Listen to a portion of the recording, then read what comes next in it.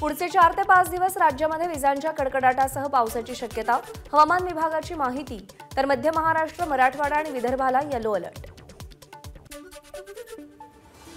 September महिन्यामध्ये धरण क्षेत्रात समाधानकारक पाऊस पडलेला नाही. तर मुंबईकरांना पुन्हा एकदा पाणी कपातीचा सामना करावा लागेल. येत्या एक ऑक्टोबरला मुंबईच्या सातही तलावांमधल्या पाणीसाठ्याचा आढावा घेऊन पालिका पाणी कपातीचा निर्णय घेण्याची शक्यता आहे. पुण्यामध्ये सप्टेंबर महिन्यातील पाऊसमान पाहून पंधरा ऑक्टोबर नंतर शहरातील पाण्याबाबत निर्णय घेण्याचा कालवा सल्लागार समितीच्या बैठकीत निर्णय. पुण्यामध्ये तुर्तास पाणीपुरवठा सुरळीत होणार असून कोणताही पाणी पाणी कपातीचा निर्णय झालेला नाहीये. भारत पाकिस्तान सामना पावसामुळे रद्द या सामन्यामध्ये भारतानं एकोणपन्नासाव्या षटकात सर्व बाद दोनशे सहासष्ट धावांची मजल मारली.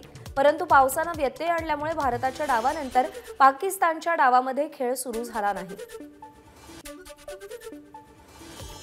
हॉकी फाईव्ह एस आशिया चषकामध्ये भारत आणि पाकिस्तानमध्ये विरुद्ध सामन्यात भारताकडून पाकिस्तानचा दारुण पराभव टीम इंडियाचा पेनल्टी शूटआउटद्वारे सहा चार असा विजय.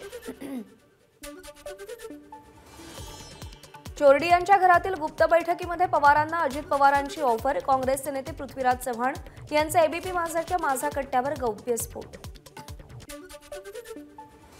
जालन्यातील अंबड शासकीय रुग्णालयामध्ये उद्धव ठाकरे आंदोलकांच्या भेटीला जखमी आंदोलकांची उद्धव ठाकरेंकडून विचारपूस. शरद पवार उदयनराजेंनी घेतली आंदोलकांची भेट. मराठा आंदोलकांसोबत उदयनराजे पवारांची चर्चा जालन्यातील घटनेची न्यायालयीन चौकशी करा उदयनराजेंची मागणी.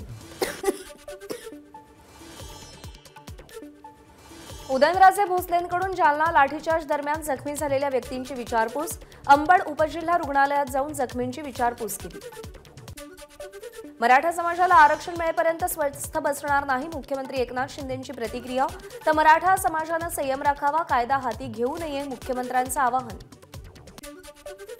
जालन्यातील लाठीचार्ज संदर्भात मुख्यमंत्री एकनाथ शिंदेंचा विरोधी पक्षातील प्रमुख नेत्यांना फोन शांतता आणि कायदा सुव्यवस्था राखण्यासाठी मदत करण्याचं मुख्यमंत्र्यांचं आवाहन.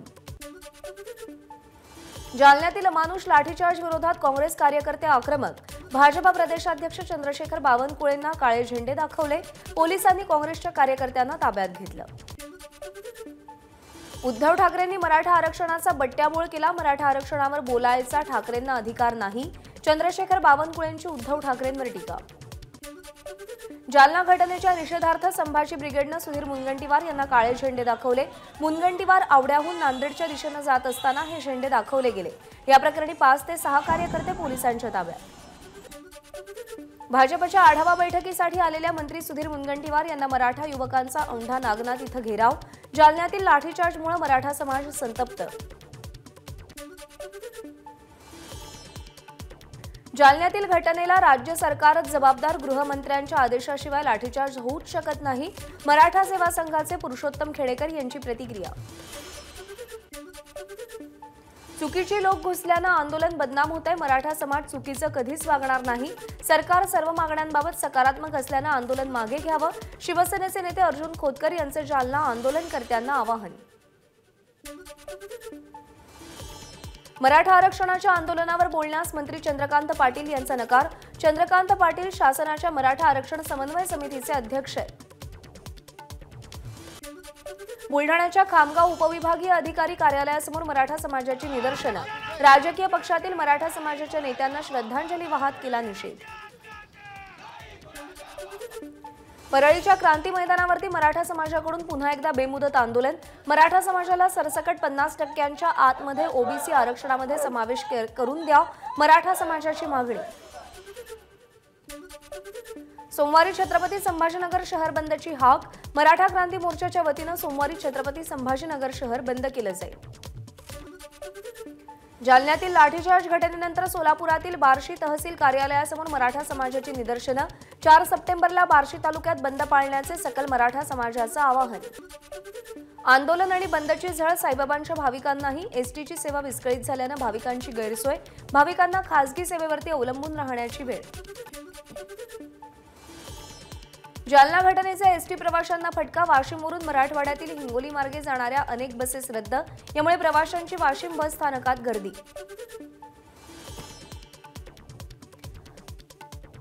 मनमाडमध्ये सकल मराठा समाज आक्रमक एक तासाहून अधिक काळ रास्ता रोको आंदोलन केलं.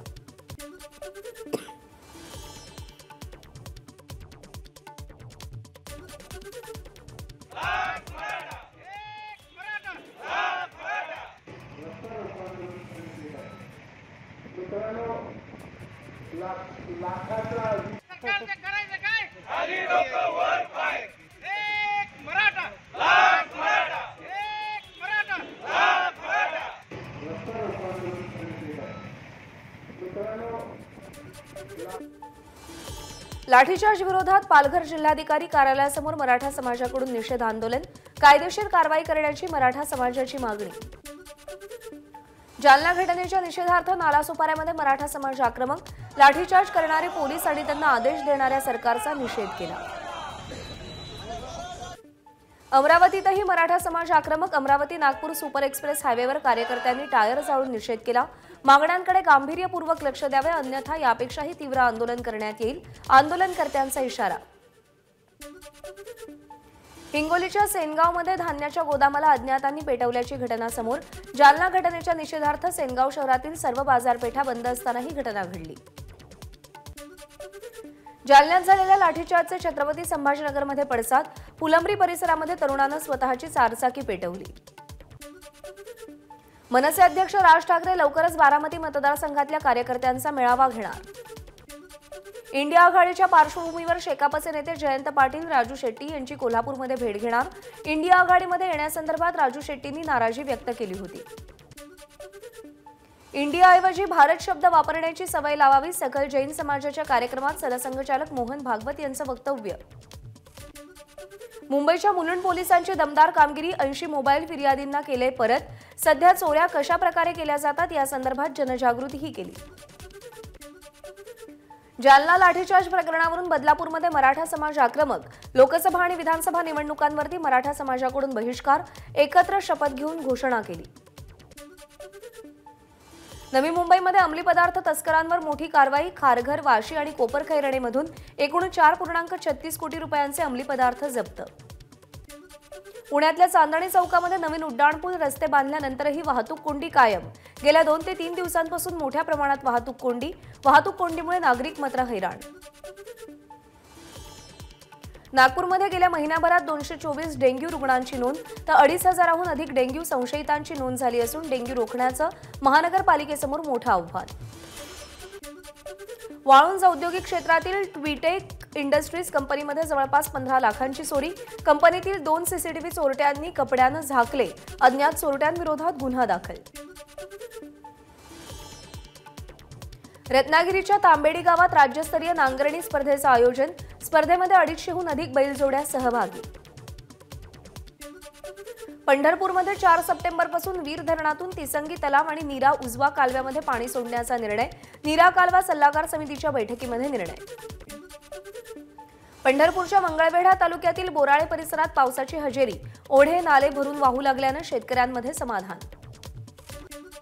इंदापूरच्या बिडशिंग इथं जेवण बनवण्याच्या कारणावरून शेतमजुराची हत्या. डोक्यावर कोयत्यानं वार करत हत्या केल्याचं समोर. वाशिमच्या कारंजा मानोरा रोडवरती चारचाकी दुचाकीला धडकली. अपघाताचा व्हिडिओ गाडीच्या सीसीटीव्ही कॅमेरामध्ये रेकॉर्ड अपघातामध्ये तीन जण गंभीर जखमी. अंबरनाथच्या फातिमा शाळेजवळील इमारतीचा स्लॅब कोसळला यामध्ये महिलेचा मृत्यू. यामुळे अंबरनाथ शहरामध्ये धोकादायक इमारतींचा मुद्दा पुन्हा एकदा ऐरणीवर.